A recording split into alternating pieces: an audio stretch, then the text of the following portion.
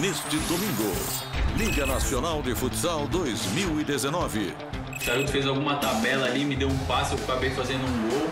Enfrentamos uma grande equipe, sabíamos das dificuldades que iríamos enfrentar. Eu acabei dando uma assistência pro Eder Lima.